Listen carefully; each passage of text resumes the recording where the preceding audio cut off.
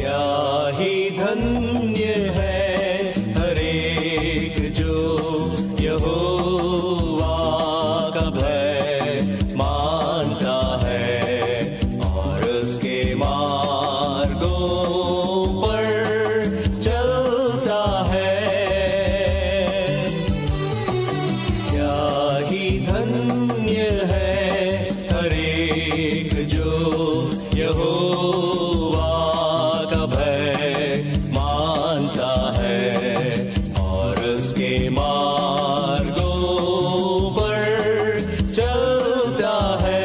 आप सुन रहे हैं सुबह संदेश मॉर्निंग वॉइस अब ब्रदर जॉर्ज जॉन इंडोर से वज़न से बांटा जाएगा।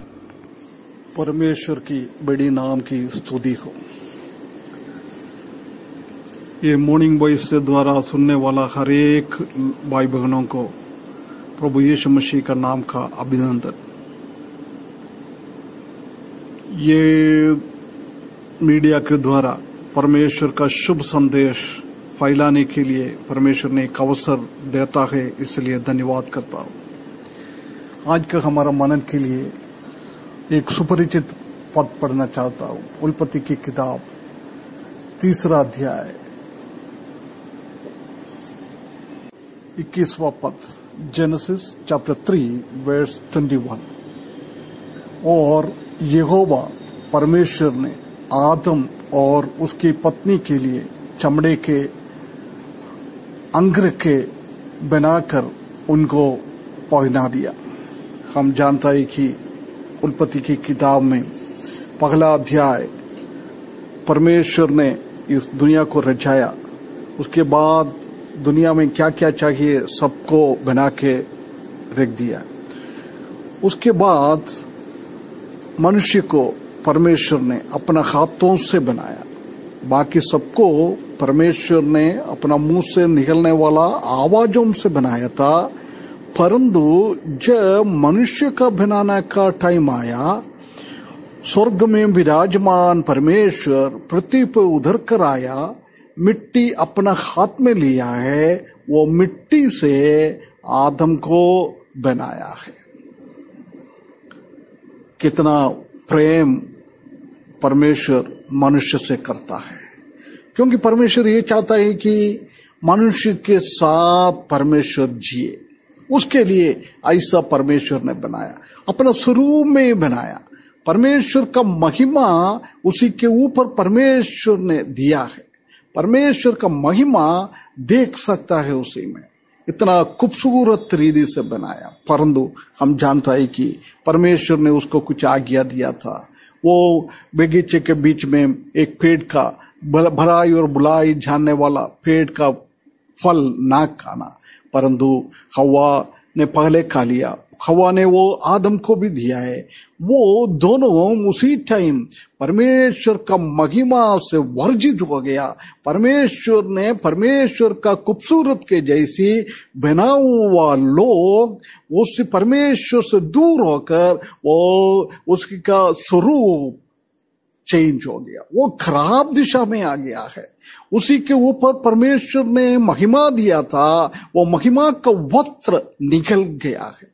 अभी क्या है? तीसरा अध्याय में हम देखेंगे वो नंगा हो गया। वो पत्थर लेकर अपना लंगोटी बनाया। परंतु उसी से भी काम नहीं हो पाया। ये बात हम देख सकता है। परंतु उधर हम देख सकता है कि ऐसी परमेश्वर ने उन लोगों से बात करने के बाद परमेश्वर ने उनका नंगापन को दूर करने के लिए, उसका नंगा हटाने के लिए परमेश्वर ने एक सुविधा दिया है। यहो वह परमेश्वर ने आदम और उसकी पत्नी के लिए चमड़े के, अंग्र के बनकर उनको पहना दिया। हम जानता है कि चमड़ा कहाँ से मिलता है, एक जानवर से मिलता है। परमेश्वर ने इन लोगों को कपड़ा पहनाने के लिए, उसका नंगापन को उठाने के लिए, परमेश्वर ने एक जानवर को, एक मेमने को मार दिया है।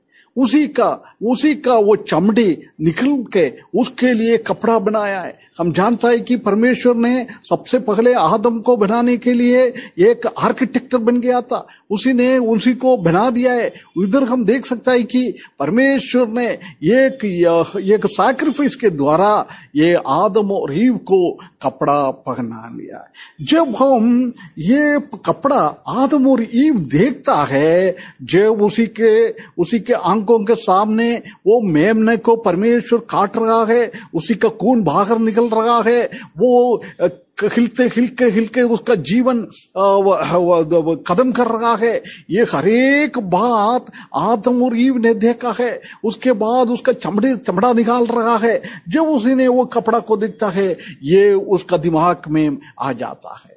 इधर से हम क्या देख सकता है? परमेश्वर का प्रेम हम देख सकते हैं। परमेश्वर ने पाप किए लोगों को भी, उसने त्यागा नहीं है, उसने प्रेम किया है, उसी को क्या चाहिए, वो व्यवस्था करने के बाद वो आत्म वाटिका से बाहर निकला, क्योंकि वो जीवन का फल भी खा के वो हमेशा के लिए ज़िंदा रहे, उसी का कोई भी उद्धार का रास्ता बन नहीं पाएगा, ऐसी एक स्थिति ना आए, इसलिए उसको दूर कर दिया है। प्रिय विश्वासियों, ये मेमना प्रभु यीशु मसीह का एक तस्वीर है।